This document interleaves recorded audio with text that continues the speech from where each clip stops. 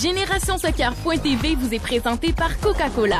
Ouvre-toi du bonheur et les boutiques Passion Soccer, la qualité avant tout.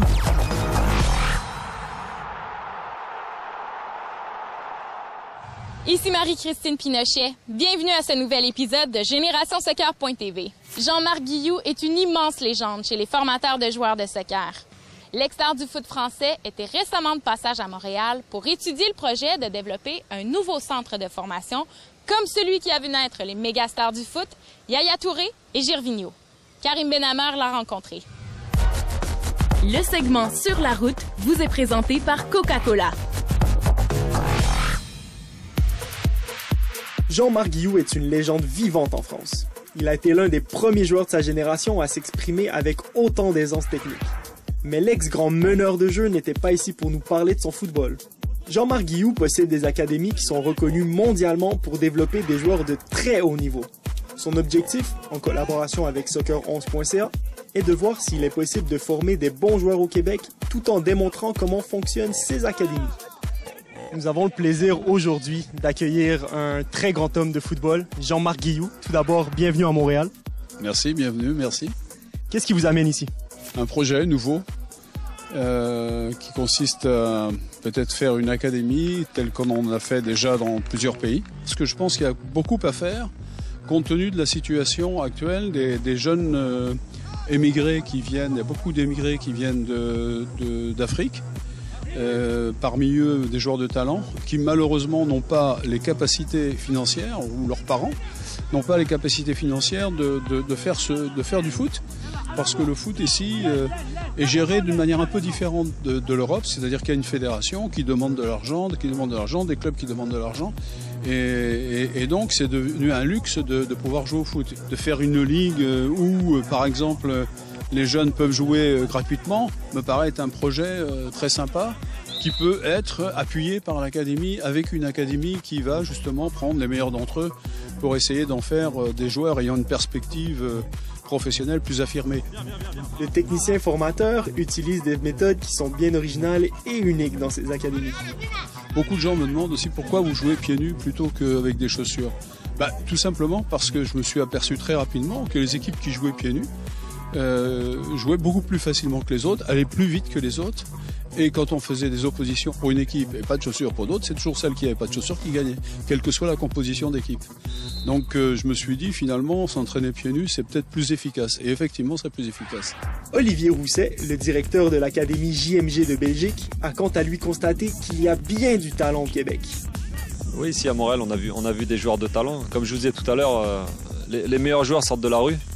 Et en parcourant un peu tous les quartiers avec euh, l'immigration latino et africaine qu'il y, a, qu'il y a à Montréal, euh, on a vu beaucoup de joueurs de talent. On a vu aussi des, petits euh, Québécois de souche. Hein. Il y a quoi faire. Maintenant, il faut mettre des structures en place pour, pour former les, jeunes ici. Mais personnellement, j'étais étonné par le fait qu'il y ait beaucoup de, beaucoup de football dans, le, dans la rue ici. Bon, je sais que c'est l'été et qu'il fait bon, mais il y a beaucoup, beaucoup de joueurs. Nous avons demandé à Olivier si les joueurs détectés vont automatiquement s'envoler pour la Belgique. C'est pas de ramener des joueurs québécois en Belgique pour les former. Euh, si euh, JMG doit s'investir euh, dans, la formation de jeunes joueurs québécois, ça serait venir au Québec pour, pour former des jeunes et que les jeunes bénéficient de la même, de la formation de la même qualité de formation qu'ils peuvent avoir en Belgique. Ou, bon, chez GMG, il y a la Belgique, il y a l'Algérie, il y a l'Égypte, il y a le Mali, il y a le Vietnam donc euh, le Ghana. Donc il y a beaucoup beaucoup d'académies. Donc pourquoi ne pas faire la même chose ici hein? Il, y a, la qualité pour, il y a les structures pour. Donc euh, pourquoi pas? Olivier Rousset nous dit qui sont les grands joueurs qui sont passés par l'académie JMG. C'est les Yaya Touré, Colo Touré, Girvigno, Zokora. Euh, euh, Bakikone, euh, j'en oublie hein, parce qu'il y en a, il y a au moins, il y a eu au moins 25, 25 professionnels, je pense, dont des, joueurs qui ont, joué dans les grands clubs européens. Dans les clubs professionnels, là il y a Jason Denayer qui est à Manchester City, qui sort de l'académie de Belgique, il y a Rami Bensebaini qui sort de l'académie d'Algérie, qui est à Montpellier.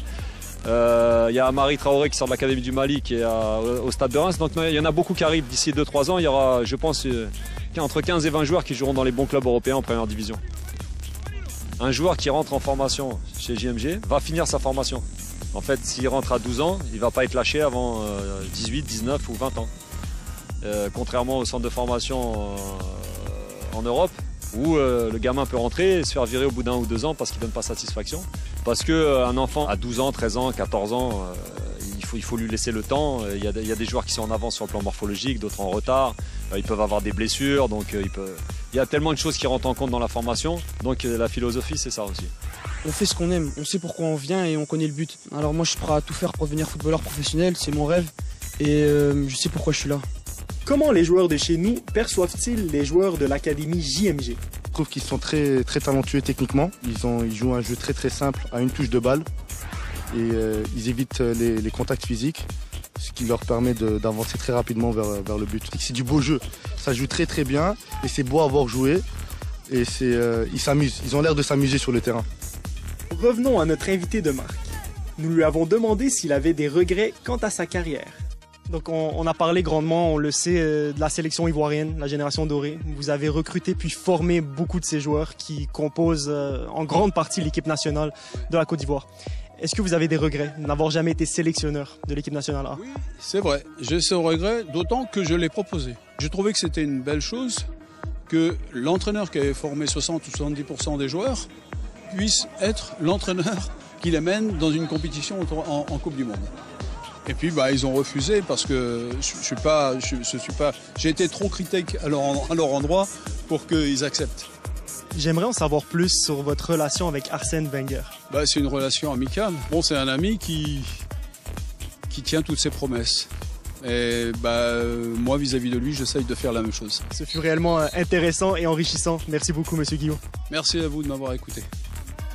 Les académies JMG ont fait leur preuve dans plusieurs régions du monde. Voyons maintenant si l'organisation sera capable de s'installer au Québec.